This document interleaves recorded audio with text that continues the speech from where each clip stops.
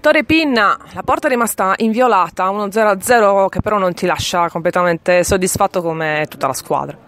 Sì, non siamo soddisfatti perché volevamo portare a casa i tre punti, però questi sono campi difficili.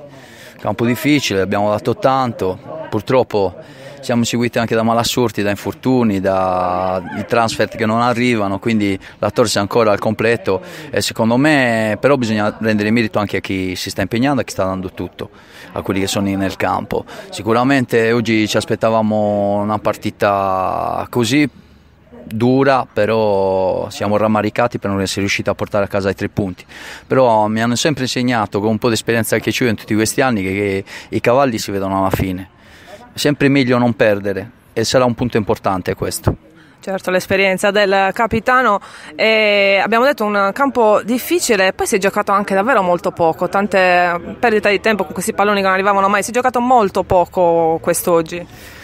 Sicuro, tutti con la Torres adesso non vuole giocare nessuno, quindi per, per le altre squadre pareggiare con la Torres è come vincere una partita, non ce lo dimentichiamo, noi siamo la Torres, eh, come l'ho spiegato anche ai miei compagni. Questo è il valore che a noi ci deve far capire e ci deve far credere nella nostra entità e soprattutto in questo grande progetto della società. Noi siamo una squadra che deve rimanere solo quest'anno in questo campionato.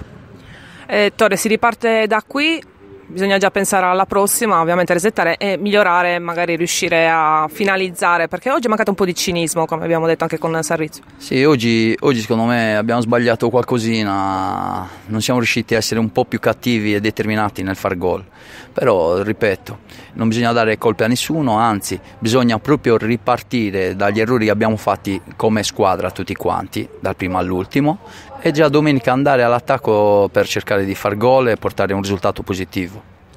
Solo una parola, i tifosi erano con voi ovviamente anche oggi, è sempre bello vedere questo ambiente. Infatti siamo andati a fine partita e gli ho detto grazie, grazie perché c'è una tifoseria come la nostra non c'è in tutta la Sardegna, perché sono i migliori perché sono gente che ti fa veramente sentire un giocatore veramente importante e loro, e loro ci stanno riuscendo, ci sono vicini e noi faremo di tutto per portarli a essere felici e ritornare allo stadio più numerosi che mai, vedere quella vecchia curva nord importante come sempre. Grazie Tore.